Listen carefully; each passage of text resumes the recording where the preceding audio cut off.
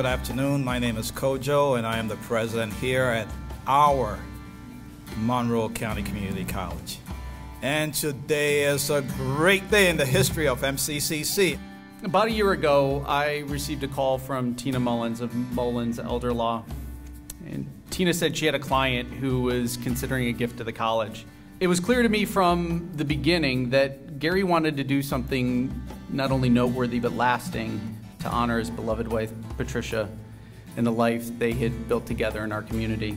To me, true leadership means using your education, your skills, your talents, your work ethic, and your resources, not just for the betterment of yourself and your family, but your community as well. Mr. Vajcner's gift to MCCC represents the greatest level of leadership and citizenship in my mind. Everything we have is a gift. None of this belongs to us. And today he is bestowing this gift on Monroe County Community College. And this is a, is a moment for tens, hundreds, and thousands of students. And this college is all about our students. That is our number one priority, student su success. This gift will go a long way into fulfilling our mission statement. And Mr. Vajcner, you put your name amongst the best and ever from Monroe County. Gary's gift today will help us create exceptional spaces of learning on our campus for countless students. Specifically in recognition of this gift, MCCC will name the following facilities.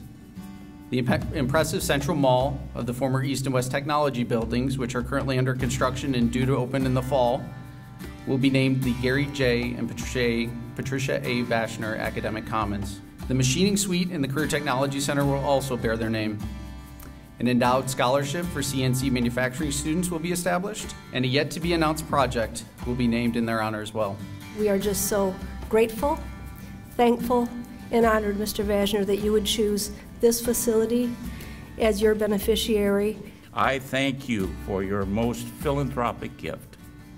It will help us help others make their lives as fruitful and rewarding as yours and Patricia's must have been. It is a rare person who asks so very little and gives so very much.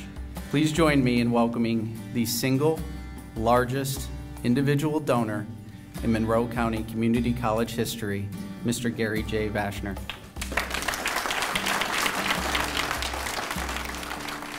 I have traveled our country, I've traveled the world. As a result, I have never found a place that I would rather have been raised or would live, at, live in today. I must credit my wife, Patricia, and Monroe for the success I have had in my life. Helping students achieve their goals and having productive lives to me is an outstanding opportunity.